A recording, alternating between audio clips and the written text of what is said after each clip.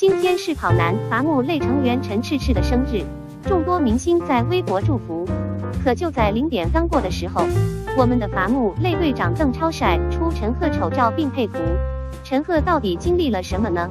随后跑男团好像约好了似的，纷纷发微博祝福并配上丑照。只有我们的鹿晗是一股清流，但也有不少吃瓜群众也表示，鹿哥这是放了一张自己的帅照吗？今天的微博满屏都是陈赫的大脸了，也有不少网友表示，跑男团的成员们的感情真的有那么好吗？感觉有几个明星都是在尬演啊，满屏的塑料兄弟姐妹情才对吧？